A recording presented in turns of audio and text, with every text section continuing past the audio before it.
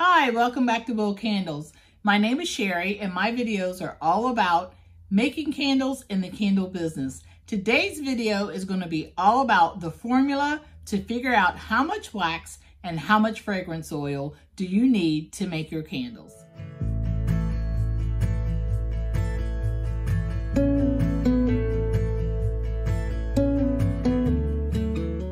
Okay, candle people. Um, you're probably going to need pen and paper for this. I am going to put some numbers up on the screen for you to go by.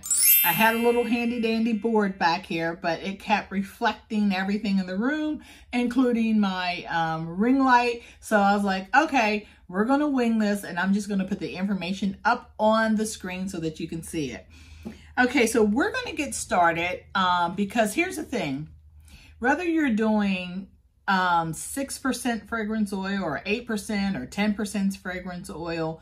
Sometimes you don't know how to calculate that um, with the container and also with the wax that you're using.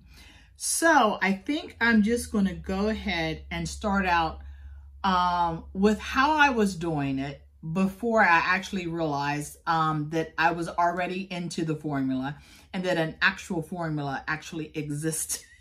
well, I think we, we, all the candle makers just kind of created it, whether we realized what we were doing or not. So I would find a container, such as moi, and not have a clue of how to figure out um, how much wax is going to take, how I'm going to get the right fragrance oil.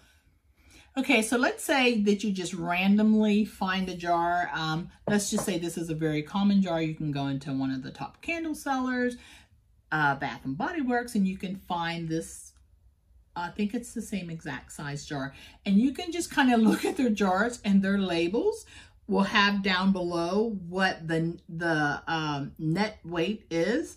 And the net weight is how much wax that is in that container, which also includes the fragrance oil. So that will give you a number to work with. So you can either go into a store, find this same exact candle jar that you're trying to use and you can look at the bottom. Now, not every label has this information on there. I do put that information on my um, candles. You will see it in ounces and in grams at the bottom of my labels. So for instance, if you were look, if you had an empty jar like this, if you had this and you went into the store, you could easily go into the store and you would see on here that the net weight in grams is 198. In ounces, it is seven ounces. Even though on Candle Science, if you go on there, it says this is a nine ounce straight sided jar. Um, actually, the net weight for the wax and the fragrance oil is seven ounces and 198 for the grams. So that is one way to figure it out. Go into the store, um, know what your candle jar is that you're going to be using and try to find a candle made in that same jar that actually has the net weight on the jar. Okay, let's just say you don't have that. You don't go to the store or for some reason um, you can't find that particular jar in the store. Maybe an easier route um, would be if that particular jar that you have found, sometimes there are some pretty unique candle jars out there, but I have Candle Science pulled up here. So you can actually go onto the candlescience.com website. You're going to go down to candle making supplies.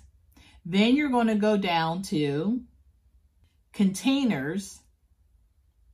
Then you're going to go down and click on candle jars. Okay, so I just pulled up a random candle jar. I pulled up the amber straight-sided tumble jar. So if you scroll down just a bit on the left-hand side, you're going to see, it'll say looking for a lid. Right below that, you're going to see how much wax will it hold. Okay, so on the first line, it says wax weight to fill line, which was 8.5 ounces. Then the next line below that says volume to overflow. So that is going to take it all the way up here, the volume to overflow. So that is not the weight that you want. You want the wax weight to the fill line, which is here. So you can look up um, either on Candle Science or just various candle suppliers or wherever you got your candle jar or candle vessel from and see if they have that information. If they don't have that information, Another option that you can do, so you've got one, go into the store, look for a candle jar that is your exact jar and see if they have listed the net weight on there. Number two is to look it up on the website. Number three is to actually take the candle jar and fill it yourself to see what the net weight of that wax is going to be.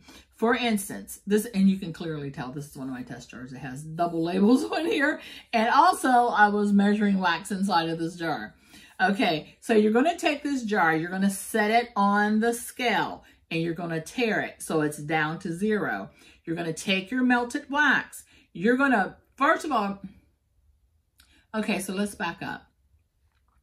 Before you pour wax into this jar, you're going to decide just exactly where you want your fill line to be. So you've got to allow room for either your wooden wick or your cotton wicks. And also, if you have a lid, this particular jar comes with a bamboo lid, you're going to have to allow the room and the space to go down inside of this jar. So you can pretty much see that's about a half inch, maybe from the bottom of here that's actually going to go inside of the jar. So you want to allow room so that this is not going to smash your wicks down and it's not going to bump into your wooden wick. Okay, so once you determine that much space and then go down a little further and determine how much will your wick stick up. So I'm going to say with this jar, um, I did a fill line on here, but it wasn't um, the best that I could do. I think I could have went a little higher. So I'm going to show you on, on the outside of this jar. So on this jar, I'm going to go down, let me turn it this way trying to find a space where there's no label. So I'm going to go down to about right here. That's going to allow my wicks to stand free without being disturbed by the lid. It's also going to allow that wooden wick to stand up and not be bumped into by the lid. So once you pour that in and that you have determined that that is a good fill line for your candle jar, then whatever the weight that says on that scale. Now, I always weigh in grams because grams is a smaller unit of measurement and it is more accurate than ounces. So I always weigh in grams so that way I know exactly how much wax is in this container. Now, so your next question might be, well, how do I find out if I have weighed something out in ounces or another jar I've seen says ounces? Okay, so you're just going to go onto Google and you're going to put in there ounces to grams. And it is going to bring up, I'm over here looking at my laptop again. It's going to bring up a little um, formulation and it's going to allow you to input um, what the ounces are. And then it's going to say equal. For instance, 8.5 ounces is equal to 240.971 grams. Do you see how accurate that unit of grams is versus ounces? So it will allow you to just to be more more efficient with your measuring. um, but I think grams is definitely a way to go. And that way it takes a lot of the guesswork out of it. So, you know, slightly over, slightly under, um, it really just pinpoints it in and just makes life a whole lot easier. Okay, so that's how you would convert that over. Okay, so now we've got Go to the store, find a candle jar, the same exact jar that you're wanting to use. See if the label lists the net weight. There's one way. Second way, get on the websites. Get on there and see if they have that particular jar or if you wherever you order that jar from. I mean, sometimes we buy things from a local supplier. Sometimes we just find cutesy things wherever and there's no other information. I have gone on to suppliers and the information as far as the net weight has not been uh, available on those websites. So, but anyway, that's your second choice is going to the website. And your third choice is to actually put this on a scale, tare it out to zero, pour into appropriate fill line for you to allow space for your your cotton wicks, your wood wicks, and also the, whatever type of lid, or if you don't have a lid, then that way you can raise it up a little bit further. So those are three different ways that you can come up with your net weight. Okay, next question. Now that you have your measurement for the amount of wax that you need to put into that container, how do you figure out, oh, I think I'm bumping the table, shaking the lens. How do you figure out the amount of fragrance oil that needs to be added to that wax. Okay, so let me just show you something before we even start thinking. I like to give visuals so that you can see. So I have here, move my notes so I don't want them to get so soaking wet. I have here a candle jar, which is full of water, and it is filled not to the overflow line, but to the wax fill line. Okay, so let's just say that this is fragrance oil. If I add that fragrance oil to this wax, it's going to overflow. So we have to figure out how do we get the right percent of fragrance oil into this wax and the line still be at the same place so that it maintains that same net weight that it is supposed to be at. And I'm going to show you that. Okay, I'm going to put some numbers up on the screen. And this is going to be the formula slash calculation, whatever you want to call it. Okay, so you are going to take, let me, let me look and make sure I got my notes right. Okay, so you are going to take the net weight. Okay, let's just say um, the 8.5 ounce um, jar that I looked up on Candle Science. Let me pull that back up. Always like, okay, so for that particular jar, the net weight, which is the wax weight to the fill line, is 8.5 ounces. Okay, we converted that over to 240.971 grams. I'm going to drop the 971, so I'm just going to say 240 grams. Rather that number like 0.9, technically, you know, you're supposed to round up. I don't round up. I just leave the number, whatever it is, and drop the numbers past the decimal. So you're just going to put the 240. Okay. So just remember rule of thumb, round down for the sake of candle making. That's pretty simple to remember. Okay, so the first thing we're going to do is write down 100%. So that's all of the wax that you need.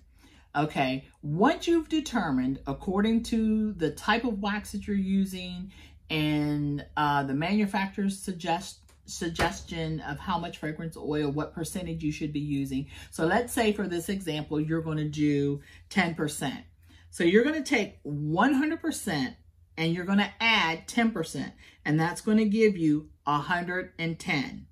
Okay, so 240 grams is the amount of the total wax that's going to be in that jar, which will include that fragrance oil. So you're going to take 240 and you're going to divide it by the 110.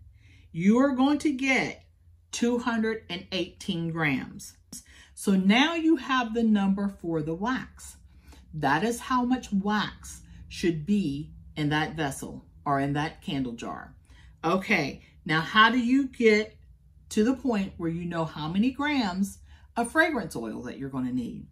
You're going to take 240, remember, whatever it takes to completely fill this up.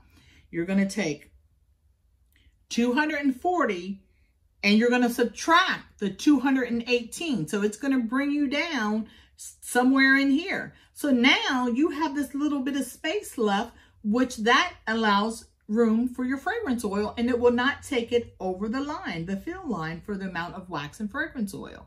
So I'm going to go over that one more time. I know this, at first it seems a little bit confusing, but when you start writing this down, and I, and I hope you guys sit down with pen and paper to write these things down. If not, you can always play this video over and over again. I don't mind talking on a video over and over again.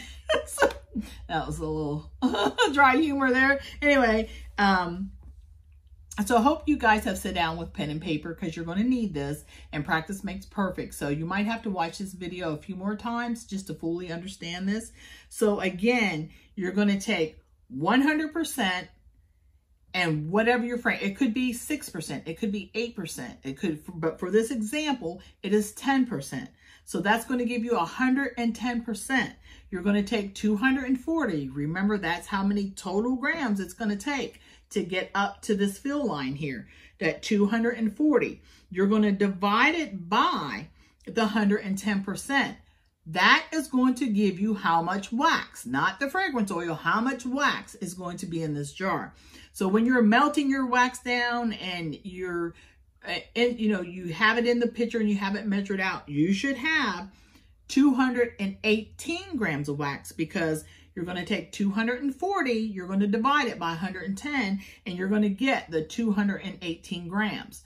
Okay, so now you're going to take the 240 again, you're going to subtract the amount of wax that you need to be in this jar, which is the 218, and you're going to get 22 grams left over. That 22 grams is, once again, is the amount of fragrance oil that is going to give you a 10% fragrance load for that candle. Now, once you have this figured out for one candle, this is just about multiplying it for multiple candles. If you're going to do um, four candles, just multiply, you know, the uh, 218, the wax times, what did I say? I said, if you're going to make four candles, okay? So if you're going to make four candles, you will do the 218 grams of wax times four. And then when you get to the fragrance oil, you'll do the 22 grams of wax times four. And then that will mix and then you will pour equally into your four containers. If you're going to do 10, you're going to do 218 grams of wax times 10. And then you're going to do your 22 grams of fragrance oil times 10. And that is going to give you enough wax with a 10% fragrance load to make 10 candles. Okay, so I hope that makes sense. Um, I didn't see any point in prolonging this video because that's just about it. So just to sum it all up, once again, go on, go to the stores that sell candles and look on their shelves to see if you can find your candle vase or you can go to the supplier that you purchased the candle jars from and look and see if they give you the max the see if they give you the uh, um amount of wax that is supposed to go into that candle jar. And then when all else fails get your candle jar and measure it out yourself. As long as you know how much wax there is supposed to be you can figure out that fragrance oil so that's it. That wraps up the formula for how to calculate your wax and how to calculate your fragrance oil. If you do have any more questions, please feel free to put those questions down in the comments below. I know it may seem a little bit confusing, and if it does, just go back and play the video over again. Make sure that you took good notes. Um, use calculators. That will help.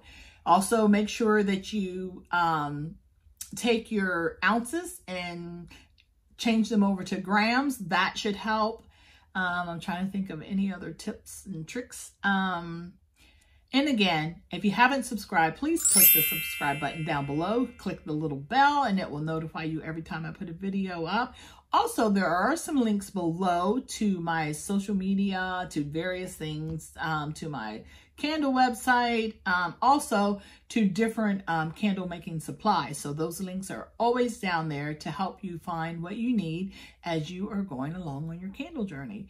And I think that's it. I think my water, I spilled some and made a mess. I might want to clean that up at this time.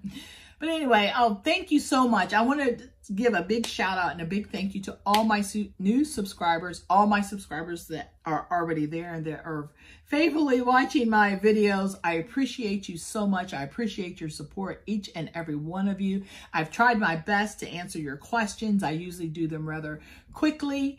Um, let me see, anything else? Any questions, make sure you just put them down in the comments. If we need to revisit this again, I don't know. I'm wondering, did I do a good job explaining this to you? I try my best. I really do. I wish I could have had my dry erase board back here, but it was just reflecting too much. So I, I said, that's okay. I'll just put it up on the screen. So I hope you guys get this. Um, it's a big, big help in your next candle journey. Don't forget to um, come back and the next video I'm going to put up is either going to be um, the candles burning or how to dye your candles, how to add color to your candles. So either one of those will be um, pretty interesting as you're going along on your candle making journey. Okay, that's it. I feel like I'm rattling on. Yeah. but anyway, I've had a great time with you guys. I've had a great time answering your questions. And once again, I so appreciate your support. And that's it. I'm just going to wrap it up and I'm going to leave it right there. Okay, so thanks for watching. Bye.